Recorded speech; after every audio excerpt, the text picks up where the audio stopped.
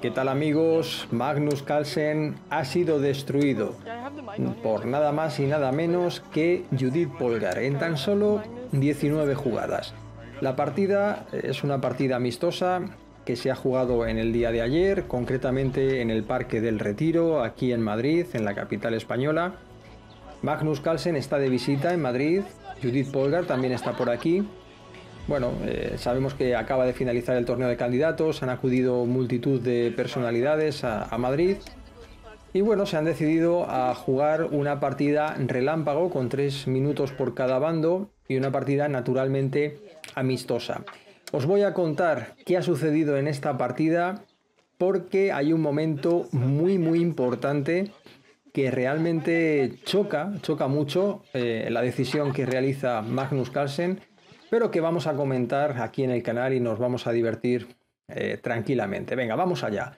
Judith, por, Judith Polgar con blancas, Carlsen con negras, E4, C5, caballo F3, E6, D4, C por D4, caballo por D4, caballo C6, caballo C3, y A6 nos encontramos en una variante súper conocida de la defensa siciliana, es la variante Paulsen, alfil E3, dama C7, dama D2, caballo F6, F3. El blanco de momento apuntala al centro y también está preparando el futuro avance de, del peón a G4. Bueno, hay que decir que apuntala al centro y también sobre todo evita el salto del caballo a G4. Y ya digo, es una posición eh, muy conocida que se ha jugado centenares de veces, incluso jugadas posteriores. Em, pero sobre todo, sobre todo llama la atención los derroteros que ha tomado la partida en cuestión de 5 o 6 jugadas. Vais a ver. Siguió alfil e7, enroque largo, b5 y g4 y ya queda muy claro cuáles son las intenciones de cada uno de los jugadores. Judith Polgar va a intentar jugar en el flanco de rey, va a intentar abrir la posición, venir a por este rey que todavía no ha definido su posición. Esto es, ya digo, muy jugada, muy jugado en la élite, este tipo de, de, estrategia. Y Magnus Carlsen, por su parte, pues va a intentar venir a por este rey avanzando los peones y mm, fundamentalmente aprovechando la columna C en el momento que el caballo eh, despeje la columna y el alfil venga a la casilla B7 que será la jugada natural. Caballo por D4. Esta jugada eh, aligera la presión del blanco en el centro, pero sobre todo lo que te decía antes, prepara la presión por la columna C, alfil por D4 y ahora tras alfil B7 tenemos que detenernos unos instantes y ver qué es lo que más se ha jugado, qué es lo más habitual y qué es incluso lo que recomiendan las máquinas. En esta posición, lo que conocíamos, lo más habitual, era llevar la torre a la casilla B1. La razón es que puede haber una clavada del alfil de B7 sobre nuestra torre, puede haber, incluso golpes sobre el peón de G4 y de ahí que las blancas jueguen de manera profiláctica llevando la torre a G1 y además la torre va a estar muy bien para tratar de provocar una posible eh, apertura de la columna G. Mm, esta es una de las jugadas que conocíamos. También conocíamos la jugada G5, es otra buena forma de iniciar las operaciones en el flanco de rey, pero Judith Polgar se sale de lo conocido y realiza una jugada muy fiel a su estilo, que ya sabéis que eh, ha sido siempre un juego pues muy agresivo, muy emprendedor y, muy incisivo. Y realiza la jugada E5, una jugada que tiene todo el aspecto de un error, porque da la impresión de que está entregando el peón de G4. Magnus captura este peón. Y ahora vamos a ver lo que sucedió en la partida. Porque eh, lo, digamos, ortodoxo, lo más eh, normal, por decirlo de alguna manera, hubiera sido que el negro realizase la jugada caballo de 5 y que bueno, tras simplemente caballo por d5, alfil por d5, alcanzásemos una posición completamente equilibrada, eh, muy igualada en cuanto a todos los factores estratégicos, el blanco controla una columna, el negro también controla la columna eh, C. La seguridad de los reyes es aproximadamente igual. Los dos jugadores tienen la pareja de alfiles y es una partida en la que está eh, todo por decidir. A mí me gusta un poquito más el, blanco, el negro, perdón, pero está todo por decidir. Podemos decir que está bastante equilibrada. Sin embargo, Magnus Carlsen cae en la tentación y captura este peón que Judith Polgar ha entregado muy sigilosamente. Y vamos a ver qué sucedió tras esta entrega de peón. De momento tenemos que saber que hay otra amenaza latente y es que el alfil, como el blanco ha avanzado el peón a E5, el alfil puede amenazar en un futuro capturar el peón de F3. Siguió torre G1 y caballo H6. La jugada que hay que pensar sobre todo es qué sucede tras alfil por F3, porque parece la jugada idónea. Capturamos un nuevo peón, estamos atacando la torre, estamos defendiendo el caballo y parece, digamos que maravilloso, pero, pero hay una defensa muy interesante para el blanco que es la jugada alfil G2. Tras alfil G2 estaríamos amenazando el alfil, estamos amenazando el caballo por rayos X y sobre todo estamos atacando la torre.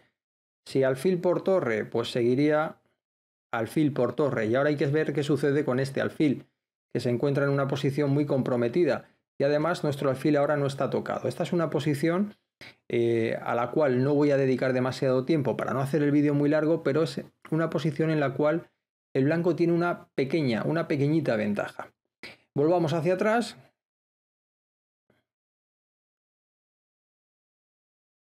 Recordemos, caballo por G4, torre G1, así fue como se jugó en la partida, y tras caballo H6 em, nos vamos a dar cuenta de que Judith Polgar ha entregado un peón, pero es un peón que está plenamente justificado y plenamente compensado, porque ahora la torre ha ganado una gran actividad, el caballo ha quedado en una posición muy comprometida y bueno, hay que ver qué sucede también con este peón de G7. si es necesario defenderlo, si no es necesario. Y, bueno, enseguida lo vamos a, comentar. Eh, Judith juega muy bien, realiza la jugada alfil de 3, lleva al máximo el potencial de todas sus piezas y esta jugada es claramente preferible a la captura del peón. La captura del peón no sería una buena jugada, sería de hecho un error porque tras caballo F5 la torre queda tocada, el alfil está tocado, tendremos que llevar a algún lugar nuestra torre. Si volvemos a la casilla de origen, tras caballo por D4, dama por D4, existe esta clavada. Y si llevamos la, la, torre a otro lugar, no tenemos demasiados lugares, porque tanto la casilla G4 como la casilla G2 se encontrarían con esta desagradable sorpresa, que el alfil va a atacar las dos torres y vamos a quedar en una posición claramente perdida. Por eso, alfil de 3 es una muy buena jugada, lucha contra la casilla de escape del caballo y ahora sí que eh, el peón puede ser capturado. De ahí que Magnus Carlsen tenga que acudir a una jugada muy lamentable, bastante fea, pero creo que casi obligada, la jugada alfil F8. Bueno, Magnus está quedando ya en una posición muy incómoda. Las máquinas dicen que el blanco tiene una ligera ventaja nada más, nada más, pero esto tiene una pinta terrorífica para un humano. Una torre que no juega, un caballo fuera de juego, un alfil en su posición original y prácticamente únicamente una dama, un alfil en buenas condiciones y una torre que puede quedar en buenas condiciones en una jugada. Pero vais a ver que tras alfil E4 eh, Magnus realiza la jugada torre C8, que ya digo es una jugada temática cuyo objetivo es poner toda la presión sobre el punto C2, pero esta jugada es un error clamoroso, es un error decisivo. Te invito si quieres a que pares el vídeo en este momento y que veas si eres capaz de rematar a Magnus Carlsen con una jugada, porque esta jugada es eh, totalmente, vamos, un blunder, un error total, un error decisivo. Bueno, Judith Polgar jugó muy bien, realizó la jugada alfil b6, está atacando la dama, esta dama está a punto de, de caer y va a caer porque si mueve a cualquier casilla desde la cual no defienda el peón de d7, se va a producir este molesto jaque mate con el rey en el centro.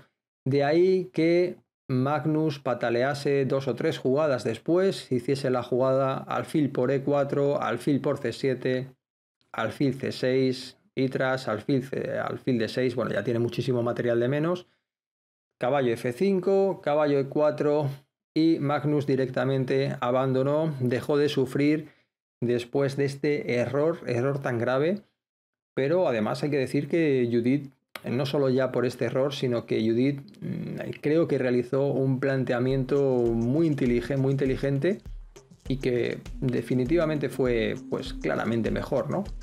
Bueno amigos, espero que os haya gustado este vídeo. Como siempre os digo, en nuestra escuela nos podéis eh, conocer durante 14 días gratis, podéis aprender ajedrez online y podéis aprender a vuestro ritmo y desde vuestra propia casa. Os envío un cordial saludo y hasta muy pronto. Chao.